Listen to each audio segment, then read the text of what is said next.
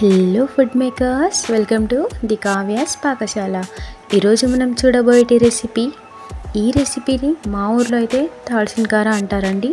Recipe మొత్తం చూశాక మీ ఊర్లో దీన్ని ఏమంటారో నాకు కామెంట్ చేయండి. ఇక ప్రాసెస్లోకి వెళ్దామా? ఈ రెసిపీ కోసం నేను మన మినీ గార్డెన్లో పెరిగిన మెంతి కూరనైతే నేను యూస్ చేసుకుంటున్నాను. దీనికోసం స్టవ్ పైన కడాయి పెట్టుకొని అది హీట్ అయిన వెంటనే దాంట్లో ఒక స్పూన్ వరకు ఆయిల్ని వేసి హాఫ్ స్పూన్ జీరా అలాగే ఒక గుప్పెడు కరివేపాకు మరియు ఒక మీడియం సైజ్ ఆనియన్ని చిన్నగా కట్ చేసి వేయండి. అలాగే హాఫ్ స్పూన్ వరకు అల్లం వెల్లుల్లి పేస్ట్ని కూడా వేసి పచ్చివాసన పోయేంత వరకు వేయించండి.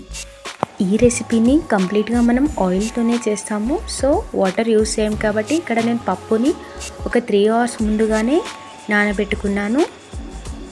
సో అప్పుడు పప్పు ఎక్కువగా ఉడికించాల్సిన అవసరం ఉండదు కాబట్టి.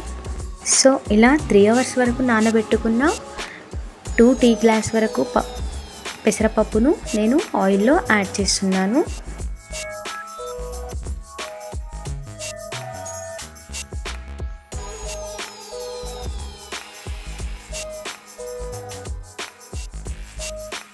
ఈ పప్పుని ఆయిల్లో బాగా కలిపి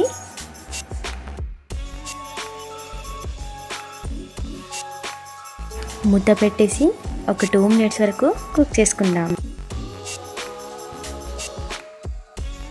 ఎప్పుడైనా కర్రీని స్పైసీగా తినాలి అనిపించినప్పుడు ఇన్స్టాంట్గా చేసుకోగలిగే రెసిపీ ఇది. ఇది రైస్ రోటీ చపాతీ దేంట్లోకైనా చాలా బాగుంటుంది.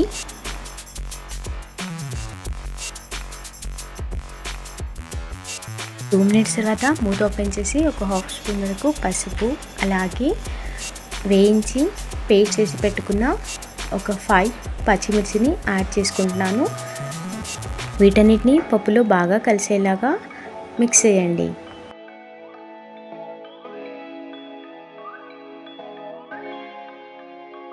వీటన్నిటిని బాగా కలిపి మూత పెట్టేసేయండి. ఈ రెసిపీని మనం almost two to three days వరకు వితౌట్ ఫ్రిడ్జ్ కూడా స్టోర్ చేసుకోవచ్చు.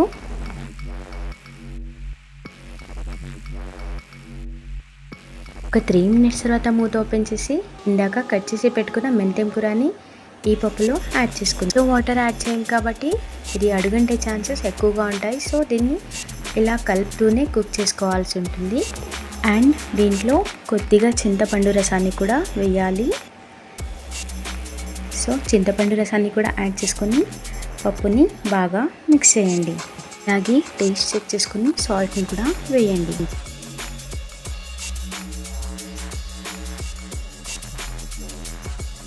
సో ఇప్పుడు బాగా కలిపి మూత పెట్టేసి ఇంకో ఫైవ్ మినిట్స్ వరకు స్టవ్ని లో ఫ్లేమ్లో పెట్టుకొని కుక్ చేసుకోండి.